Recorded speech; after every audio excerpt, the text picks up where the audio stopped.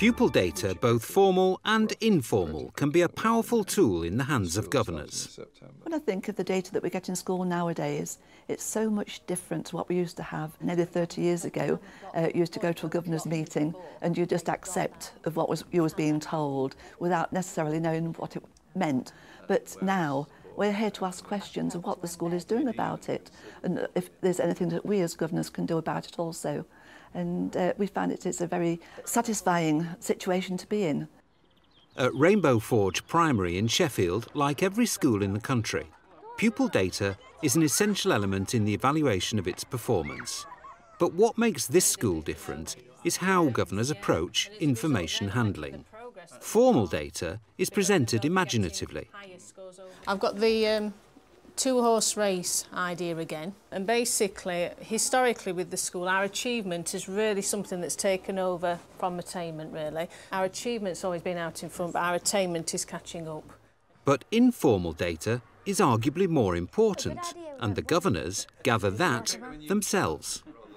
Miss Darman, do you want to pick? Uh, can I have um, attendance please?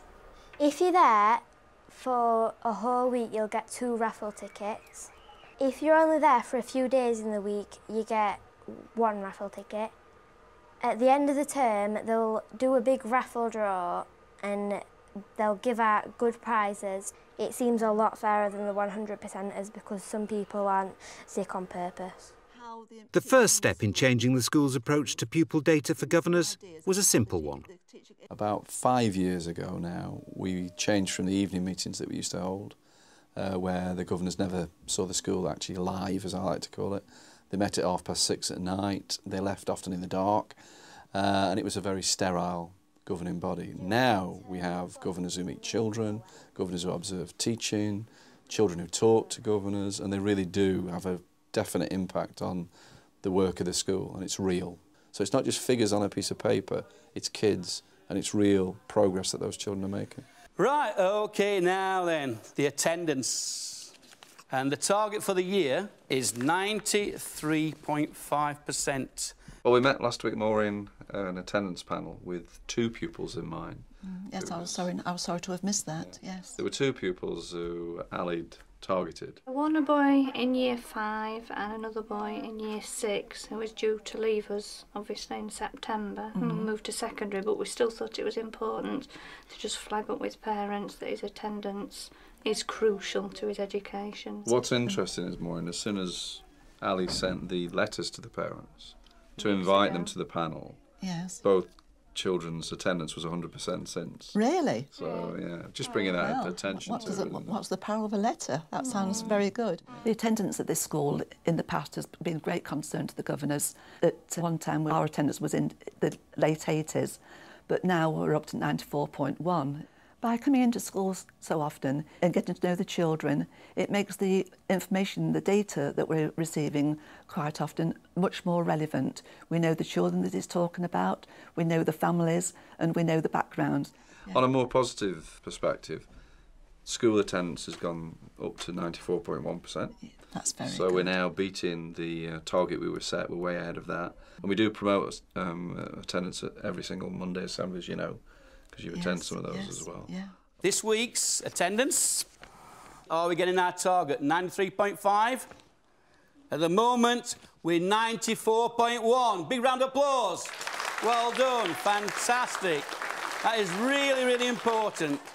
They've got a commitment now, our governors, that they will attend every major event in the school. So it's that informal gathering of information which is so, so important and a critical part of governance. I've got another governor now, parent governor, who attends the playgroup, so it's, it's on every Monday morning now. She's there every single Monday morning. It doubles it up as a surgery. So if there's any other parent from any other child, they know that on a Monday morning they can go and see Paula and she'll be available for a chat. How's things going? Really good, yeah. Enjoying playgroup still? Yeah, yeah, well, Megan starts nursery in September. So it's, it's September into nursery. Is she looking forward to that? Oh, yeah, she's talking about it all the time. I'd say that one of the big pluses of all this, this openness, is that we don't get that many complaints. But I think most of our parents believe there's, a, there's, a, there's different routes by which their, vo their voice can be heard. Does she like the craft we do and the, the song time and the story she time? loves the song time, yeah. Yeah, especially now it's a bit more structured. Yeah.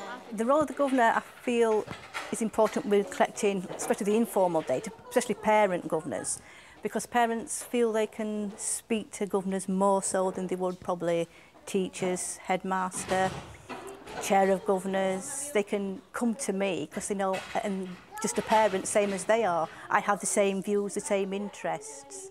Any concerns I feel's really important go to the meetings, the governors' meetings, they're brought up in whichever governors' meeting, focus group it needs to go to.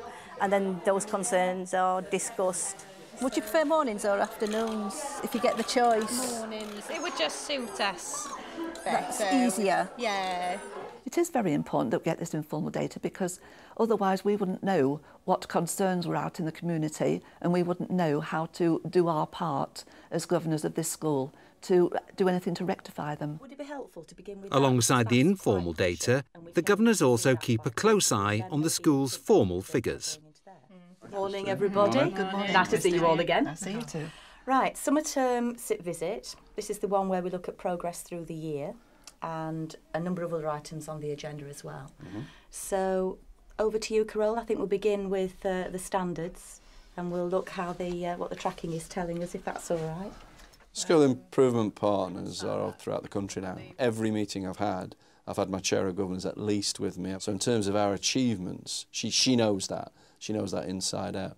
But she couldn't put her, her hands on the data as rapidly as I could or the deputy head could. But she can give my SIP that other dimension of saying as a governor she's seen these changes over time uh, that perhaps just on paper it doesn't show. And I wouldn't want a SIP visit without her, to be honest. We've also looked at data about Yeah. the birth rate locally All right. and the numbers of children who come into our nursery, which is the lifeblood of, of the school. Yeah.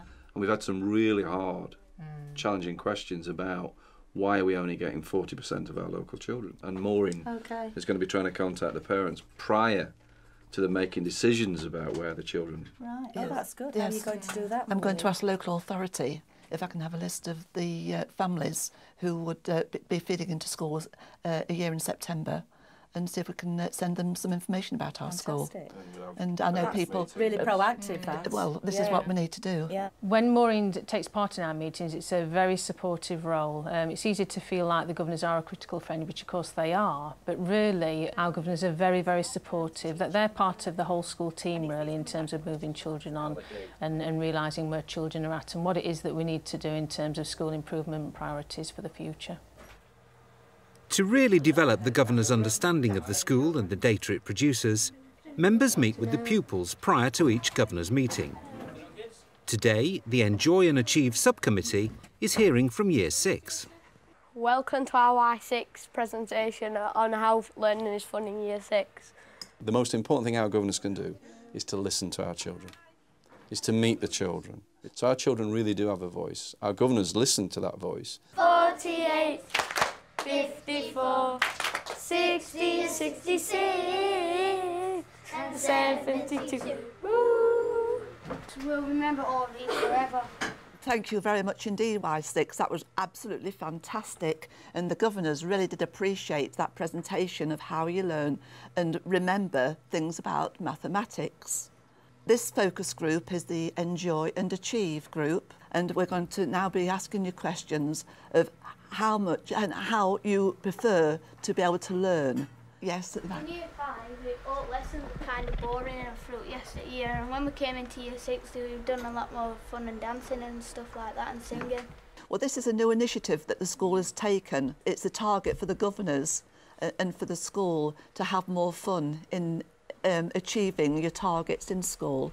I think the real data comes from the informal chats because I go into the classes in the governor's meetings and they see me as somebody's mum, not some person they don't see from one week to the next. They see me as somebody's mum who's here who they can come and speak to if they need. Would you prefer it if your teacher had a, a list up so as when you came in at the beginning of the week you would know what you was going to learn every day? Or do you like to just turn up and see what happens? Which would you prefer? Yeah, I'd like to see what happens every day because when it's just wrote on a list, then you just know that it's going to happen. You like the surprise element, do you? That's good. In the past, the governors were like a secret society. The kids didn't know the faces or anything like that. Now every governor has been allocated a class, so they're always welcome to pop in any time, and they're, they're given access to everything in the classroom. So the information's there. All they've got to do is open the kids' books, and if there's something they don't like, they will ask the teacher what's happened there and vice versa, and we respond to the questions.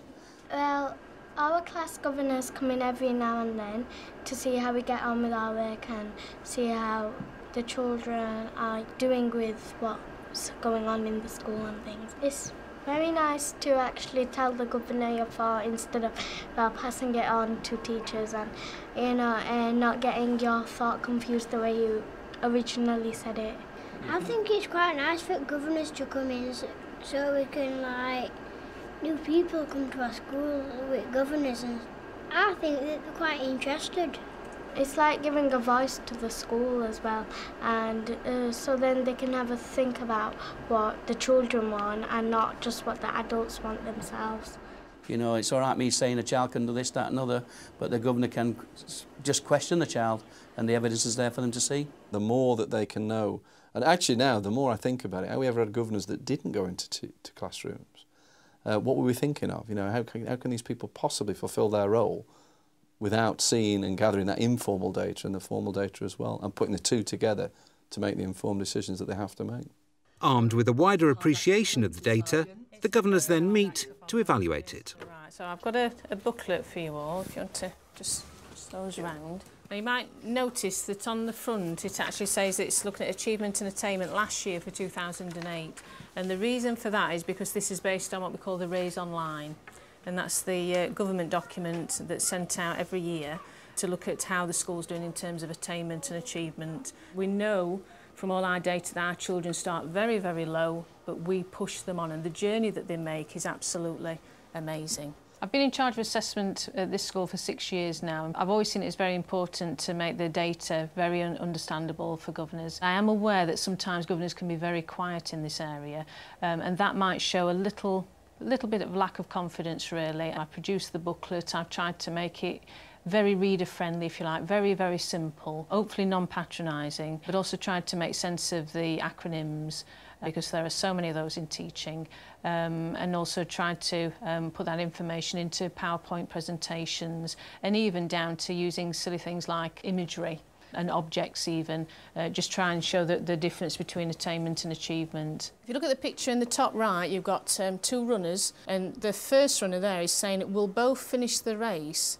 but I've had a lot further to travel. If um, you imagine our school being in a race with all the other schools in Sheffield, all the other schools in the country, our school, because of the nature of our children, starts off at a very low base level, but we're out there, we really are. And in terms of getting to the level four being Y6, maybe our children had a little bit further to run.